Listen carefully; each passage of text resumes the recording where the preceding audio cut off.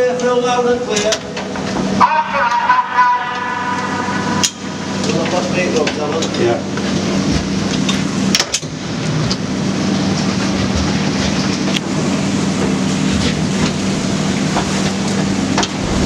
You'll just wait there now until I test my gas and then Yeah.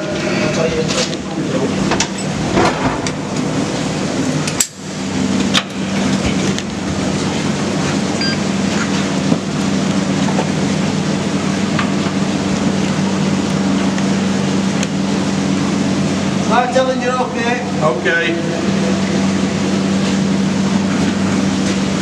What we're doing here to clip system, we've got to be attached to a safe point, just in case we do fall. So what we do, we have a double attachment. So we attach the double attachment that's attached to the cage, unclip our personal one, go over to an anchor point at the shaft side, clip on there, that enables us to release the anchor point on the cage. So we're clipped on and attached to an anchor point at all times, enabling us to exit the cage into the inset safely. Once in the cage, uh, inset safely, we can detach from this point and go further in to do the job.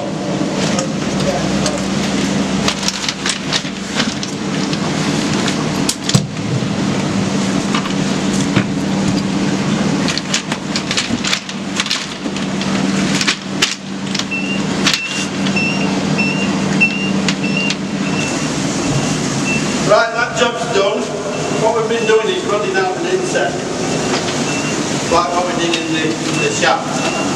But certain points of the inset are prone to block. And uh, from time to time, we have to run them out. And that was that process. We've attached to the inset side anchor point. We're going back to cage. Once safely onto the cage, we anchor with the cage anchor point, which enables us take a personal one off the inset.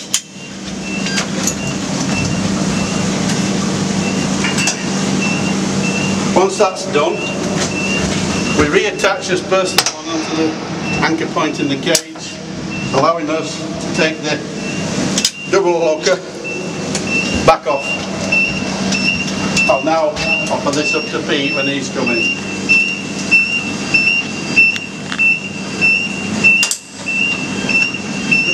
Yep.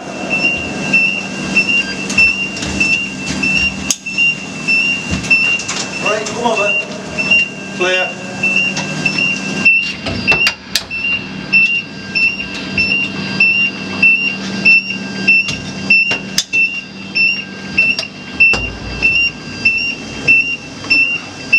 Hello, Phil.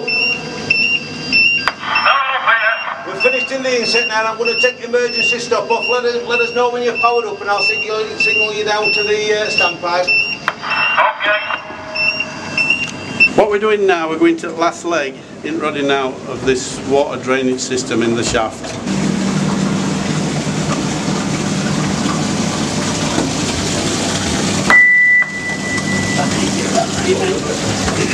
Right, Phil, we're in position. I'm going to put you stopping on cage. So, so as I said previously, this is the last leg in the uh, flow point of that inset wastewater down to the ring dam area. This has to be proven so it doesn't block up with debris and uh, ochre. So it goes freely into a ring dam and then freely down the shaft pipes into the pit bottom.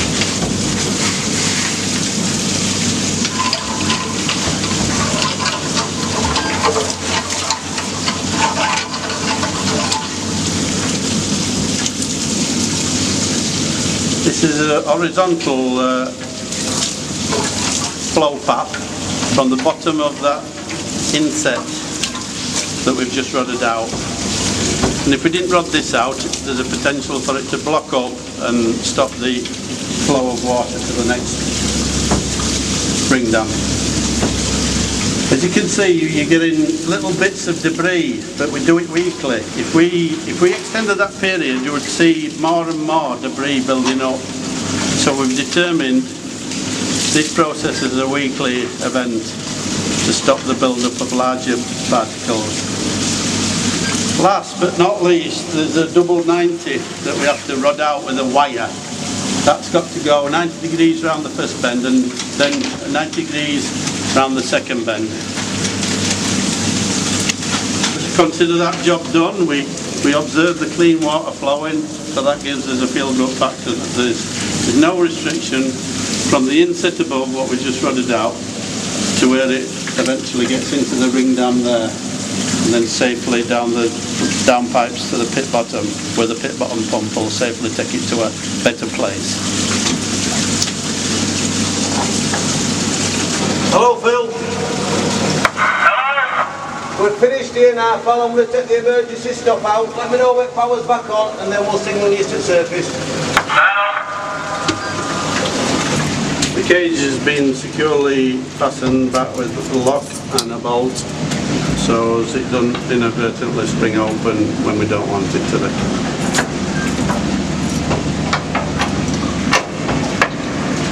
The back gate's secured now, and the top clip's been installed of the additional drop down of the top gate.